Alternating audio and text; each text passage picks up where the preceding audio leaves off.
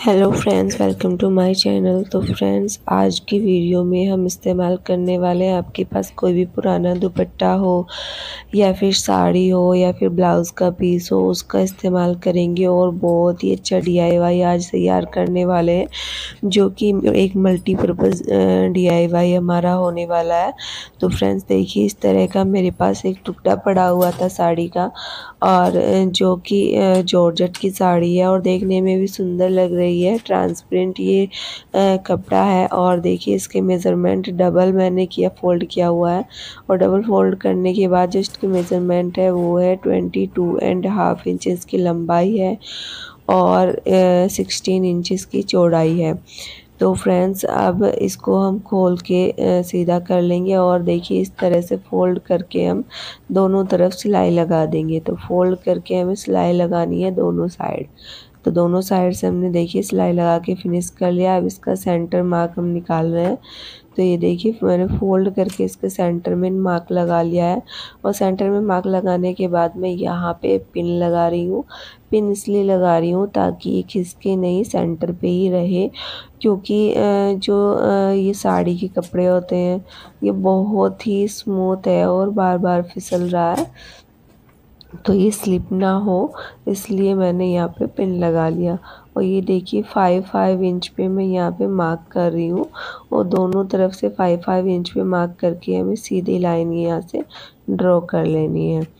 तो ये देखिए, ये मैंने फाइव इंच पे मार्क करके और इस मार्क को सीधा कर दिया है।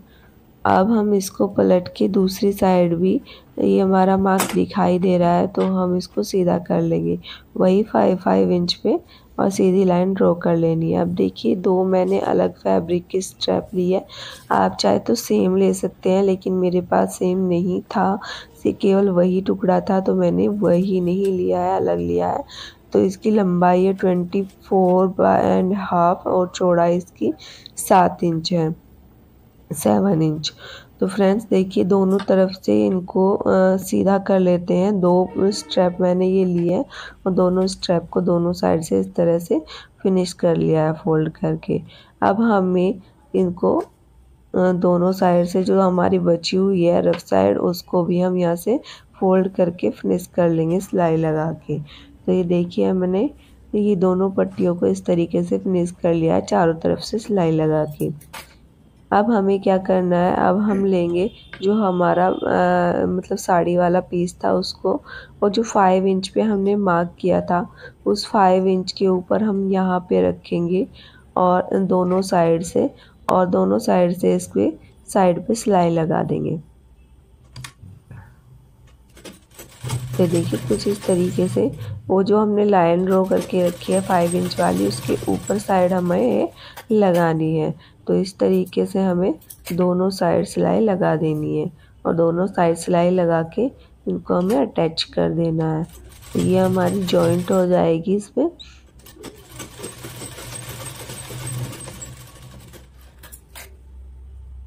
तो ये देखिए फ्रेंड्स ये जॉइंट हो गई है। और ये हमारी एक्स्ट्रा है इससे। देखिए, मैं आपको दिखा भी देती हूँ कितनी एक्स्ट्रा है। ये डबल फोल्ड करने के बाद यानी कि three and half inch extra यानी कि सेवन इंच एक्स्ट्रा है।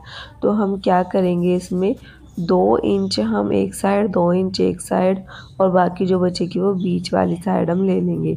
ये हमारी फिफ्टीन एंड हाफ़ है। हम इसको क्या करेंगे? फाइव फाइव इंच पे मार्क कर देंगे। थ्री पॉकेट्स हमें बनानी है और जो हमारे पॉकेट्स वाला कपड़ा है उसको हम सेवन इंच पे मार्क करेंगे। और सेवन इंच पे मार्क करके जो हमने फाइव इंच पे मार्क किया है, उस मार्क पे रख के इसको सीधा कर देंगे। दोनों साइड इसी तरीके से सेवन सेवन इंच पे मार्क करना है और फाइव इंच वाले मार्क पे लगा के इसको सीधा कर देना है। देखिए, इस तरीके से सिलाई करके इसको सीधा कर देंगे। मैं आपको सील के भी दिखा रही हूँ। तो आपको इस तरीके से सिलाई करके इसको सिलाई को सीधा कर लेना है, ये देखिए।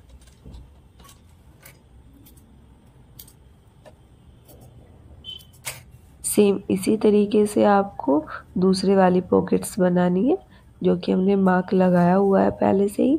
उस पर भी आप उस मार्क को सिलाई करके वहाँ से उसको सीधा कर ली।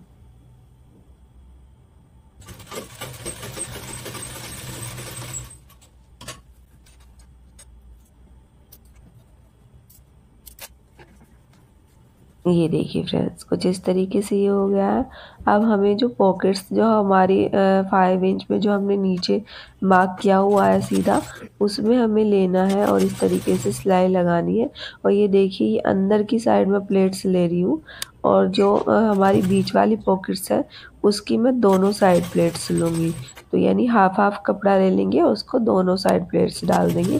और जो साइड वाली है, उसमें हम उसको अंदर की साइड प्लेट्स डालेंगे ओनली एक प्लेट्स डालेंगे वन प्लेट्स तो देखिए, इस तरीके से हमारी पॉकेट्स तैयार हो गई है। और ये पॉकेट्स बहुत ही ज़्यादा स्पेस वाली तैयार हुई है, जिससे में कि बहुत सारा सामान आप रख सकते हैं। तो देखिए, दोनों साइड से मैंने फिनिश कर लिया है। अब मैंने एक कपड़ा लिया है, अलग से। देखिए, इसकी चौड़ाई है चार इंच और लंबाई है साढ़े तेरह इंच। तो इस तरीके से मैंने इसको तीनों तरफ़ सिलाई लगा के तैयार कर लिया है और अब इसको मैं सीधा कर रही हूँ। ये देखिए, कुछ इस तरीके से। ये हमारी सीधी हो गई है। अब इसको जो हमने लिया है, उसको फोल्ड कर लीजिए और दोनों पार्ट को इसको मिला के इसको हमें सिलाई कर देना है। देखिए, मैंने सिलाई कर दिया है। सिलाई करके अब मैं इसको सेंटर मार्क निकाल रही हूँ। अब सेंटर मार्क निकाल के हमें इस पट्टी के अंदर इसमें डाल के इसको और इतना ही करके इसको सिलाई कर लेना यानी कि इसमें प्लेट्स हमें डालनी है। तो ये देखिए, मैंने दोनों पे सेंटर मार्क कर लिया हुआ है तो इस तरीके से हमें लेना है और सिलाई लगानी है। और सेंटर से सेंटर हमें मिलाना है, बाकी पे जो हमारा बचेगा उसकी प्लेट्स हमें डाल देनी है। तो इस तरीके से हमने ये देखिए प्लेट्स डाल दी है। और जो सेंटर पेज जितना भी आया है अब देखिए, उतना ही रखेंगे, हम प्लेट्स डालेंगे और उतना इसको लेंगे। और यहाँ से सिलाई लगा देंगे तो ये देखिए, ये भी हमारा लग गया है, तैयार हो गया है। अब हमें क्या करना है? अब हमें लगानी है वेलक्रो मैं इसमें वेलक्रो का इस्तेमाल कर रही हूँ, आप चाहे तो इसमें डोरी का भी इस्तेमाल कर सकते हैं। तो ये देखिए फ्रेंड्स इस तरीके से मैंने वेलक्रो ली है। वेलक्रो की मैंने जो लंबाई ली है, वो मैंने ली है two and half inch two and half inch की। मैंने दो पीस कट किए हैं। तो इस तरीके से रख के आप सिलाई कर लीजिए। किसी भी साइड आप कर लीजिए। तो ये देखिए मैंने सिलाई कर लिया है। अब मैं यहाँ से वन इंच का डिस्टेंस छोड़ के इसको नीचे की साइड रखूँगी और मार्क कर लूँगी। ये देखिए। ये मार्क कर लिए और जहाँ पे मैंने मार्क किया है, वहाँ पे वेलक्रो रखेंगे और वेलक्रो को स्टिच कर देंगे।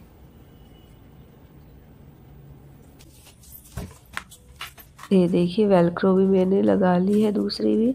अब देखिए, मैंने कार्डबोर्ड लिया है fourteen by seven and half inch का और इसमें मैंने एक सोपिंग बैग के अंदर डाल के इसको स्टेपलर से स्टेप कर दिया है। और ये देखिए, इस तरीके से जो वेलक्रो मैंने लगाई है, उसके अंदर हम इसको खोल के यहाँ से इसमें हम इंसर्ट कर इंसर्ट कर दिया है।